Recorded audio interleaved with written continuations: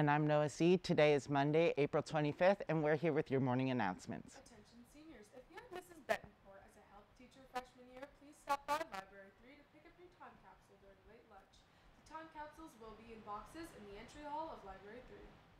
Are you wondering if you have a library fine or what to do with your AP textbooks? Are you a senior and wondering what to do with your Chromebook? Well, you're in luck because that information is posted online on the library website. Scan the QR code shown to go to the library website. CO's Community Club is hosting a food drive until May 16th. Drop off any canned or non-perishable food items to the culinary classroom for a chance to earn a CO ticket. Five students who donate the most items will also earn a Dutch Bros drink. Now let's pass it on over to Sterling for our weekly weather report.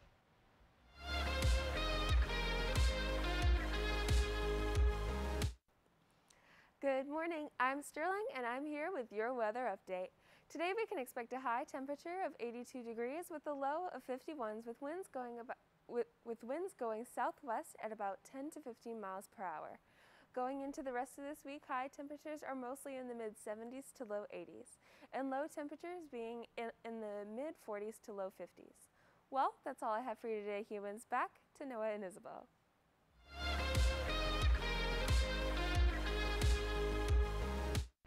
Thanks, Sterling. Attention AP students, are you taking an AP test this year and looking for ways to study?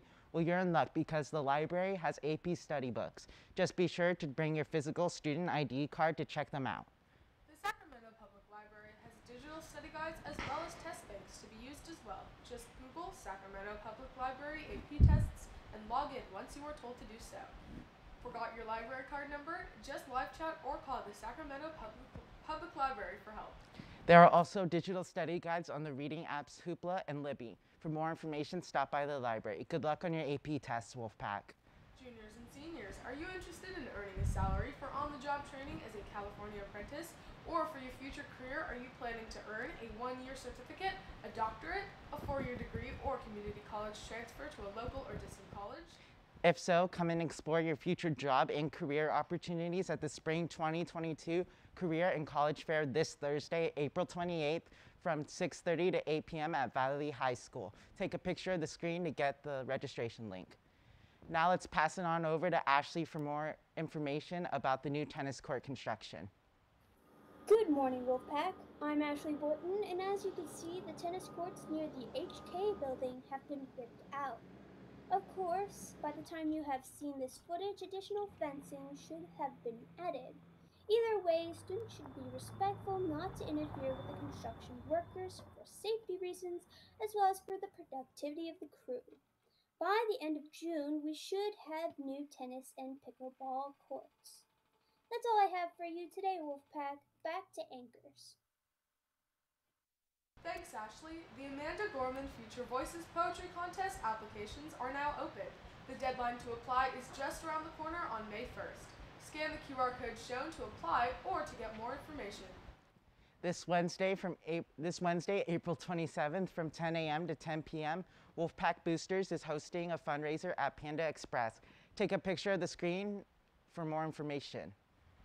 Man, I'm getting really hungry. What about you, Noah? Definitely. In fact, before we go, let's check out this week's Cooking with the Pack. Welcome back, Wolfpack. This morning we are making puff pastry apple danishes. So we're gonna start with some apples. We're gonna dice them up, cook them down, and then stick some uh, danishes in the oven.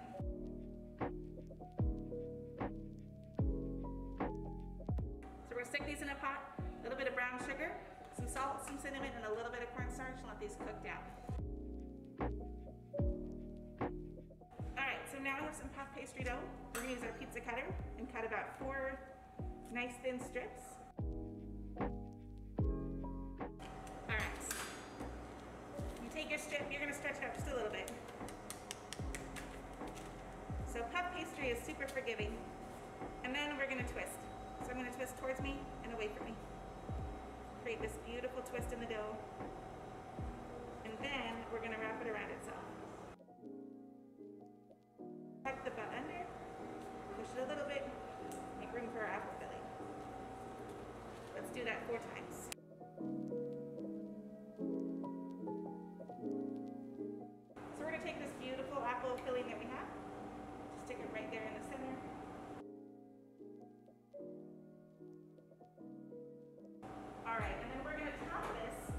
With a crumb topping, which is a little bit of flour, sugar, melted butter, brown sugar.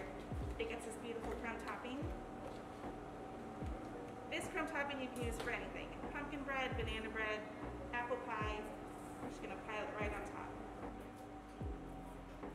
And then we're gonna stick this in the oven, 425 for about 15 to 17 minutes. We're gonna drizzle some powdered sugar, milk, a little bit of butter right over the top. And because they're warm, this glaze is gonna kind of sink into them. And what you should end up with is some beautiful, crispy, beautiful puff pastry dishes. All right, so thanks for cooking with the pack. Wow, that looks really good. Well, that's all we have for you today, Wolfpack. I'm Isabel Herman, And I'm Noah Seed, and remember, the strength of the pack is the wolf. and the strength of the wolf is the pack. Have a marvelous Monday, Wolf Pack.